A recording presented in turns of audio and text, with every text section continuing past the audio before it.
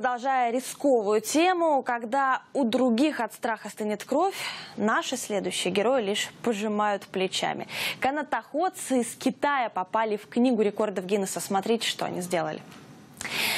Адели Вуксер и его напарник безо всякой страховки прошли 1800 метров по тросу навстречу друг другу. Мужчины держали в руках лишь по длинному шесту. Правда, Адели это показалось слишком простой задачей, поэтому по пути он еще решил порадовать зрителей трюком. Смотрите, он встал в балетную позу «Ласточка». Примерно на середине пути экстремалы встретились, им нужно было как-то разойтись. И тут напарник Вуксера лег на канат, а тот прошел по нему.